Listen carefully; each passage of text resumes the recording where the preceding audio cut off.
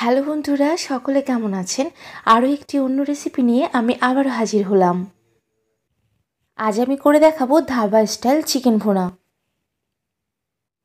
অত্যন্ত মজার এই রেসিপিটি খুব কম সময়ের মধ্যে আজ করে দেখাবো।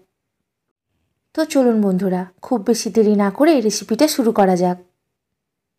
প্রথমেই আমি ছশো গ্রাম মাংস খুব ভালোভাবে ধুয়ে দু চা চামচ সর্ষের তেল, সামান্য লবণ ও ওয়ান থার্ড চামচ হলুদ দিয়ে আধ ঘণ্টার জন্য ম্যারিনেট করে রেখেছি। এবার এখানে চার চা চামচ তেল দিয়েছি, তেল গরম হয়ে গেছে। দুটো এলাচ ও চারটা গোলমরিচ দিয়ে দিলাম। কুচি করে রাখা চারটা মিডিয়াম সাইজের পেঁয়াজ দিয়ে দিলাম। পেঁয়াজ হালকা ভাজা হয়ে গেছে। এক চা চামচ আদা ও এক চা চামচ রসুন দেওয়া হলো। দুটো তেজপাতা, দুটো মিডিয়াম সাইজের টমেটো কুচি করে দিলাম। সঙ্গে চারটা কাঁচা লঙ্কাও দিয়ে দিলাম। এবার সবগুলি খুব ভালোভাবে ভেজে বাকি মশলাগুলো দিয়ে দেবো।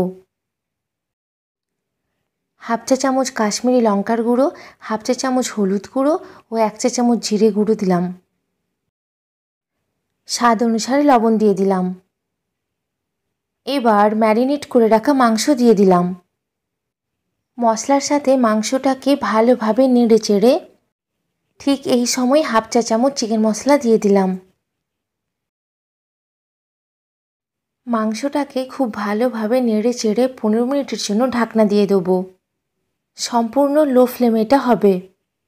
পনেরো মিনিট পর দেখা যাবে মাংস খুব ভালোভাবে সেদ্ধ হয়ে গেছে ও তেলও সাইডে চলে এসছে। ঠিক এই সময় ওয়ান থার্ড চামচ গরম মশলার গুঁড়ো দিয়ে দিলাম। এটা কিন্তু সম্পূর্ণ রেডি হয়ে গেছে। পাঁচ মিনিট নেড়ে চেড়ে ধনে পাতা কুচি দিয়ে দিলাম। এবার কি? এবার তো শুধু পরিবেশনের পালা। এটা হয়েছিল অসম্ভব মজাদার। বন্ধুরা, আমি চাইব আপনারা সকলেই তৈরি করুন এবং আমাকে কমেন্ট বক্সে জানান। যে যেখানে আছেন সকলেই খুব ভালো থাকবেন।